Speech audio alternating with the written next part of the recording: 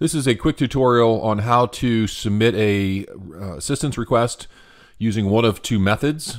Uh, there is the mobile app, which you can download from Android or iOS, and that is uh, the icon that you see here. We launch the PubSafe mobile app.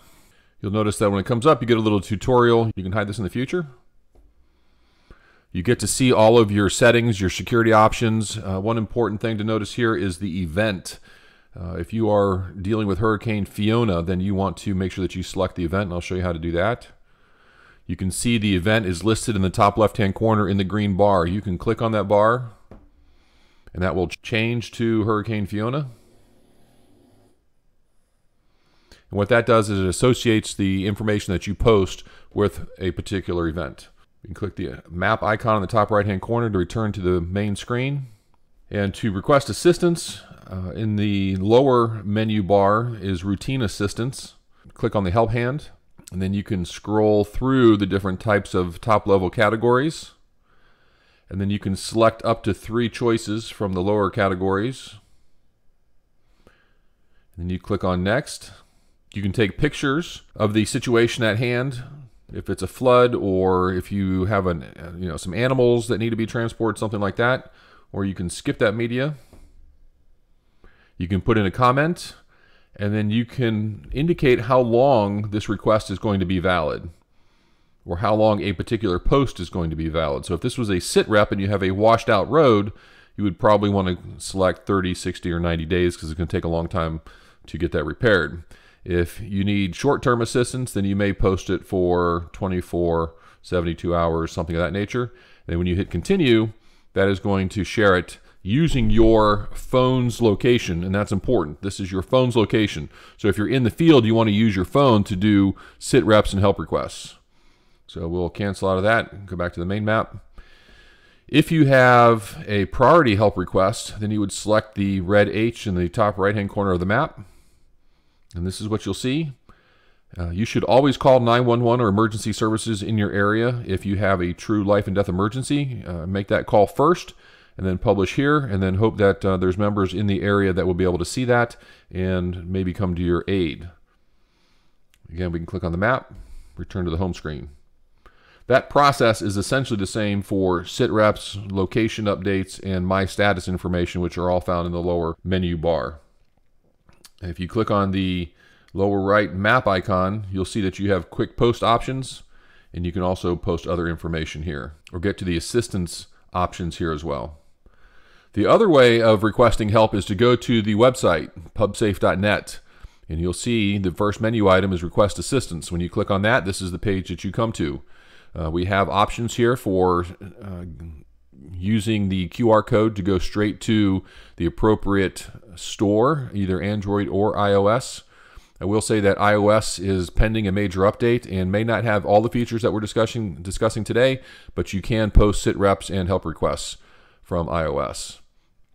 So when you come in here and you want to request help and you are not physically there, then this is the method that you would use. So if you take a phone call from somebody, you get an email or a social media post and somebody says, "Hey, I need some help," then you would come here and use the web form.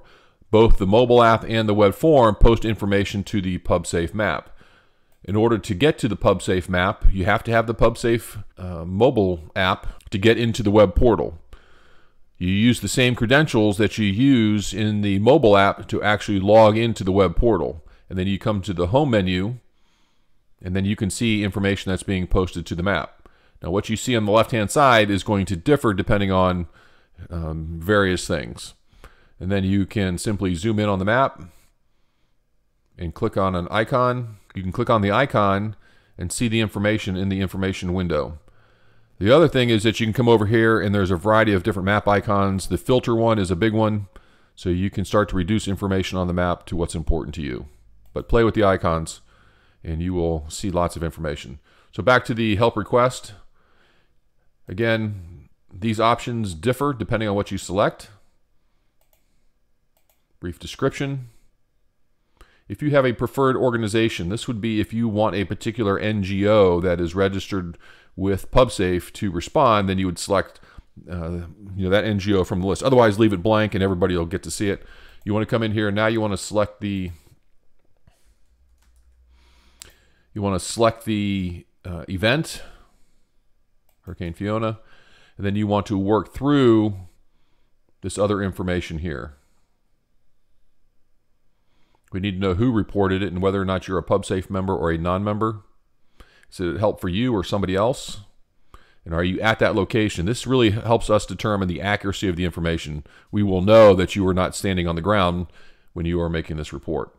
If you come down here and you need to bring in coordinates from Google Maps, you go to Google Maps, you get the GPS coordinates, you come back in here, click on this option here, and then simply copy and paste, and the map will adjust. You can also zoom the map to the appropriate location and click on the map using this option.